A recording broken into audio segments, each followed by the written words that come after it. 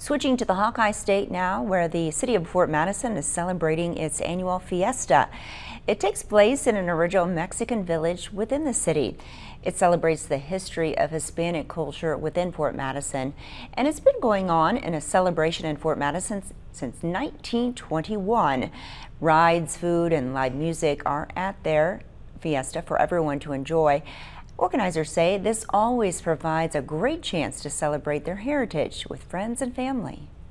Oh, it's a chance to visit with family, families who have family here come and visit. It's like family reunion for a lot of us. And, uh, you know, it's a great time. We have live music every night and lots of great food, and everybody's a friend or family, so it's really a, a fun time. It sounds like it. The fiesta continues throughout this week and into the weekend.